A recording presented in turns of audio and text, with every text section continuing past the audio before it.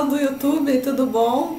Para quem não me conhece, eu sou Elizabeth Gui, meu canal é novo ainda, está sendo divulgado e hoje, antes de qualquer coisa, eu gostaria de falar para vocês, caso vocês gostem dos vídeos, dê um joinha, ajuda bastante a divulgar o canal, compartilhe o vídeo, mostre para os seus amigos.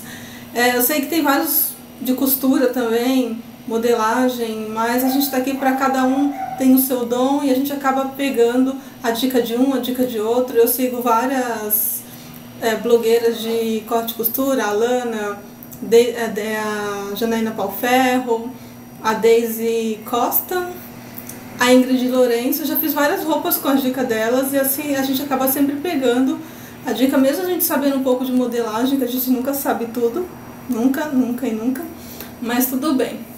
Hoje eu vim aqui responder uma pergunta da Deise Novaes Santos. Deise, muito obrigada por você assistir o canal, por, tá, por acreditar que a gente possa passar essas informações para você.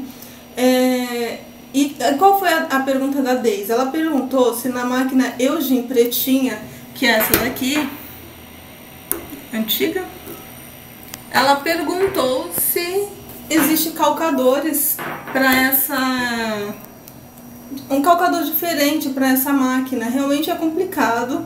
É, eu nunca me interessei em ir atrás, porque eu tenho ela há pouco tempo, até porque eu tenho uma outra que facilita o trabalho de casinha de botão, zíper. Então com ela eu costuro re na reta e essas aqui atrás é a Singer Fashion, que eu também adoro. Qualquer dia eu mostro pra vocês como funciona ela.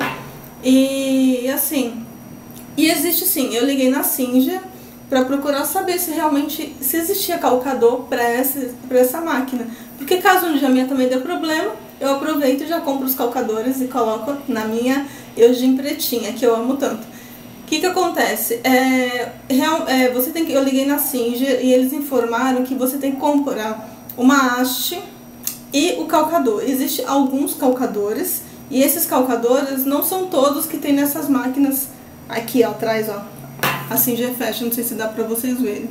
Então o que que ou qualquer outra Singer ou qualquer outra marca. É, então é isso.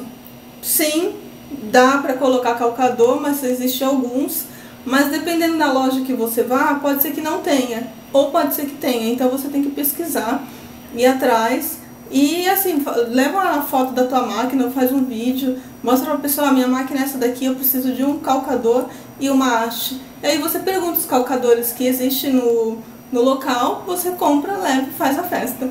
Espero que tenha respondido a resposta da Daisy. Daisy, muito obrigada. Um beijo e até a próxima. Se inscreva no canal, não deixe de dar os seus likes que ajuda a divulgar o vídeo.